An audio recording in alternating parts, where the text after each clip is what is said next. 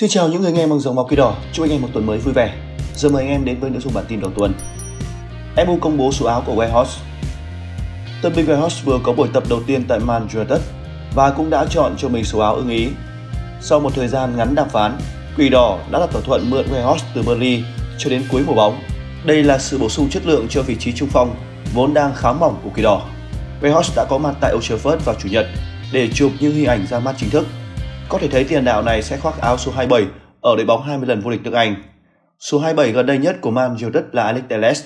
Hậu vệ người Brazil đã mặc nó trong hai mùa giải qua ở Old Trafford trước khi gia nhập Sevilla theo dạng cho mượn vào mùa hè. Trước Telles, số áo 27 thuộc về Marone Fellaini trong 3 năm trước khi ngôi sao người Bỉ chuyển đến Trung Quốc thi đấu. Do thỏa thuận được xác nhận muộn, Weghorst đã không thể góp mặt trong trận thắng Man City vào thứ Bảy. Thay vào đó, anh có thể ra mắt quỷ đỏ ở trận đấu với Crystal Palace vào thứ Tư Động lực nào cho Sancho?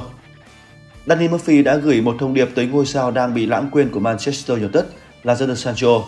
Cựu ngôi sao của Dortmund đã không có mặt trong đội hình của Man United kể từ sau kỳ nghỉ World Cup. Erik ten Hag tiết lộ rằng cầu thủ này đã gặp khó khăn về thể chất và tinh thần. Sancho không tham gia trại huấn luyện của Man United ở Tây Ban Nha trong thời gian diễn ra World Cup và thay vào đó, anh trải qua chuyến huấn luyện cá nhân ở Hà Lan, làm việc với các huấn luyện viên do huấn luyện viên Man United giới thiệu cho anh. Nhưng từ đó đến nay, anh vẫn chưa quay lại với đội. Cựu tiền vệ của Liverpool, Murphy đã gửi một thông điệp tới Sancho với hy vọng anh sớm trở lại. Màn trình diễn của Alexander Garnacho trong chiến thắng 2-1 trước Man City trên một sân khấu lớn như vậy, không nhiều thanh niên 18 tuổi có thể xử lý tình huống như này. Nếu tôi là Jadon Sancho, tôi sẽ lấy cậu ấy và màn trình diễn của Man United làm động lực. Tôi sẽ không loại cậu ấy vì Ten Hag dường như là kiểu người quản lý sẽ cho cậu ấy thêm cơ hội. Những cầu thủ có nguy cơ bật bãi khỏi Man United Không phải cầu thủ Man United nào cũng cảm thấy hài lòng sau chiến thắng trước Manchester City. Quỷ đỏ đã giành chiến thắng ấn tượng 2-1 trước Man Xanh. Đó là một ngày đẹp trời đối với Quỷ đỏ và hiện MU chỉ còn kém đội bóng nửa xanh cùng thành phố đúng một điểm trên bảng xếp hạng Premier League. Rõ ràng tinh thần của Man United đang lên cao, điều vốn không tồn tại giữa thầy Ole Gunnar Solskjaer và Ralf Rangnick ở mùa giải trước. Tuy nhiên, không phải cầu thủ nào cũng hưởng trọn vẹn niềm vui sau trận thắng Man City. Đầu tiên đó là Harry Maguire. Lisandro Martinez không đá chính trước Man City dù là nhà vô địch World Cup. Điều đó càng đẩy Maguire vào thế khó. Tuyển thủ Anh giờ đứng sau Martinez, Rafael Varane và thậm chí cả Luke Shaw khi nói đến các lựa chọn ở vị trí trung vệ của Ten Hag. Thực tế, Maguire cho cảm giác anh không phù hợp với Quỷ Đỏ. Mỗi khi vào sân, Maguire thường khiến người hâm mộ top team nếu không có bất ngờ nào xảy ra, rất khó để Maguire trở lại đội hình chính. Sự nghiệp của Maguire ở Man United có nguy cơ kết thúc sau mùa giải này sẽ rất thú vị để xem liệu mọi thứ có thể cải thiện đối với Maguire từ giờ cho đến cuối mùa hay không. Người tiếp theo đó là Victor Lindelof. Lindelof đã không chơi mấy nổi bật kể từ khi khoác áo Man United vào năm 2017. Giống như Maguire, cầu thủ này chắc chắn sẽ phải vật lộn để giành sự tin tưởng của Ten Hag cho những trận đấu lớn nhất mùa. Tuyển thủ Thụy Điển là một cầu thủ có thể làm dày đội hình, nhưng ở tuổi 28, Lindelof đang bước vào những năm tháng đỉnh cao của sự nghiệp. Lindelof sẽ muốn được thi đấu thường xuyên hơn với Martinez, Varane và Luxor hiện là những trung vệ ưa thích của Ten Hag cho các trận đấu lớn diễn ra. Thật khó để thấy Lindelof được trọng dụng ở Trafford. Rất có thể Lindelof sẽ ra đi để vực dậy sự nghiệp. Nhiều cầu thủ chia tay Man United và đóng góp nhiều hơn ở đội bóng mới. Có lẽ Lindelof sẽ bắt đầu suy nghĩ về vấn đề này. Cuối cùng là Jadon Sancho. United hiện tại sở hữu nhiều cầu thủ chạy cánh. Quỷ đỏ có Rashford, Alexander Garnacho, Anthony và cả Facundo Pellegrini Tài năng trẻ gây ấn tượng trong trận ra mắt trước Charlton hồi giữa tuần. Với việc Garnacho có những màn trình diễn cực tốt khi vào sân từ băng ghế dự bị, Rashford đang có phong độ cao và Anthony ngày càng được trọng dụng, giúp Sancho bỗng dưng trở thành người thừa. Quỷ đỏ vẫn hy vọng cầu thủ này có thể đáp ứng mức giá 73 triệu bảng, bất chấp những màn trình diễn tệ hại kể từ khi chuyển đến câu lạc bộ vào mùa hè năm 2021. Tuy nhiên, giờ đây Sancho phải chịu thêm một áp lực khi Garnacho đang phát triển với tốc độ chóng mặt. Có thông tin cho rằng Quỷ đỏ sẵn sàng lắng nghe lời đề nghị dành cho Sancho. Với một cầu thủ yếu tâm lý như vậy, rất khó để Sancho có thể chiếm một suất đá chính trong đội hình của huấn luyện viên Ten Hag. Ten Hag muốn có thêm hai ngôi sao Ajax. Huấn luyện viên của Manchester United Erik Ten Hag được cho là muốn quay lại câu lạc bộ cũ Ajax và ký hợp đồng với hai ngôi sao của họ. Quỷ đỏ đã mang về hai cầu thủ trong kỳ chuyển nhượng tháng riêng hiện tại, gồm tiền đạo Utrecht đến từ Burnley theo dạng cho mượn trong khi thủ môn Jack Butland chuyển đến Old Trafford dưới dạng cho mượn từ Crystal Palace.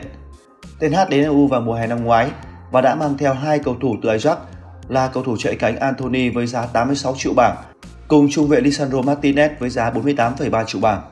Theo The Sun, Ten Hag lại một lần nữa đang tìm cách ký hợp đồng với một số tài năng hàng đầu của Ajax. Hậu vệ Juren Timber của Ajax là một trong những ngôi sao mà Ten Hag muốn mang về. Cầu thủ 21 tuổi đang gây ấn tượng ở vị trí trung vệ mùa giải này. Anh đã dành toàn bộ sự nghiệp của mình tại Ajax, thăng tiến từ lò đào tạo trẻ của câu lạc bộ và đã có 14 lần khoác áo đội tuyển quốc gia Hà Lan. Ten Hag cũng rất quan tâm đến hậu vệ phải Denvi Rens, người đã gây ấn tượng sau 20 lần ra sân trong mùa giải này. Giống như Timber, cầu thủ 19 tuổi này đã tiến bộ qua lò đào tạo trẻ của câu lạc bộ và đã có lần đầu tiên khoác áo đội tuyển Hà Lan vào năm 2021. Wan-Bissaka đang hồi sinh. Hậu vệ cánh phải của Man United, Aaron Wan-Bissaka đang tận hưởng sự hồi sinh bất ngờ trong sự nghiệp tại Old Trafford. Wan-Bissaka không hề được nhắc đến nhiều sau màn ngược dòng của Man United trước Man City. Anh mờ nhạt nhiều bởi bàn gỡ hòa gây tranh cãi của kỳ đỏ. Phong độ tuyệt vời của Marco Rashford, bước đột phá của Alexander Garnacho, nguồn năng lượng vô tận của Fred, đẳng cấp của Casemiro hay màn trình diễn xuất sắc của Varane cùng lúc so chữa lịch Hà Lan. Với việc download dính chấn thương, Wan-Bissaka được đá chính một lần nữa trong trận derby Manchester hôm thứ Bảy. Đó là trận đấu thứ 6 của anh trong mùa giải này. Wan-Bissaka đã có những màn trình diễn đầy hứa hẹn trước đó, nhưng sự góp mặt của cầu thủ 25 tuổi này vẫn gây ra lo lắng ít nhiều. Thực sự thì Wan-Bissaka đã thể hiện phong độ tệ hại khi đối đầu với Man City mùa giải trước. Anh bị coi là mắt xích yếu và mắc ba lỗi trong số 6 bàn thua của Quỷ Đỏ sau hai trận. Cộng thêm một số lần sai lầm ngớ ngẩn phạm phải, anh mất vị trí dưới quyền Rabranic và cả huấn luyện viên Ten Hag mùa này. Đối mặt với Man City với vô số tài năng tấn công cùng sự ăn ý trong lối chơi là một thử thách vô cùng khó khăn. Nhưng con Bissaka đã vượt qua bài kiểm tra mới nhất của mình một cách xuất sắc. Anh vô hiệu hóa hoàn toàn Phil Foden, khiến ngôi sao người Anh phải rời sân sau 55 phút thi đấu. Wan Bissaka đáng khen ngợi hơn cả khi có bóng. Anh tự tin cầm bóng, đi bóng, phối hợp, tổ chức tấn công. Khoảnh khắc anh đi bóng, thoát pressing trước sự áp sát của ba cầu thủ Man City thật sự ấn tượng. Đã có những nghi ngờ về tương lai của Wan Bissaka ở Old Trafford. Số phận của anh dường như đã được định đoạt trước khi Ten Hag đến, khi Dalot vẫn là lựa chọn số 1.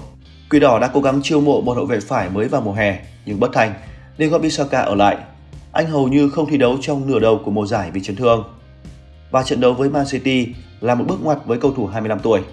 Với việc Dalot hiện đang dưới chấn thương, Wan Bissaka đang chứng tỏ mình là một phương án dự bị đáng tin cậy. Sự hồi sinh của Wan Bissaka đến vào thời điểm không thể tuyệt vời hơn với đội bóng chủ sân Old Trafford. Anh không chỉ hỗ trợ cho Dalot mà còn cho phép Man United tập trung vào những vị trí khác trên thị trường chuyển nhượng. Nhiều nguồn tin cho biết, cựu cầu thủ Crystal Palace có thể rời Man United theo dạng cho mượn vào tháng riêng khi Ten Hag đang tìm kiếm một hậu vệ phải khác để thế chỗ. Nhưng sự ra đi của Cristiano Ronaldo đồng nghĩa với việc một tiền đạo mới trở thành ưu tiên hàng đầu. Và giờ đây, khi đã có được Warehouse, đội hình quỷ đỏ đã có sự ổn định cho phần còn lại của mùa giải. Nếu Wan-Bissaka tiếp tục tiến bộ như hiện tại, tiềm năng của anh có thể sẽ được phát huy tối đa và mức phí chuyển nhượng 50 triệu bảng mà Quỷ Đỏ đã bỏ ra để có anh sẽ trở nên phù hợp. Trên đây là những thông tin nổi bật liên quan đến đội bóng ngày hôm nay. Để cập nhật sớm nhất tình hình của đội bóng thân yêu, mời anh em hãy like, share và đăng ký kênh. Xin trân trọng cảm ơn.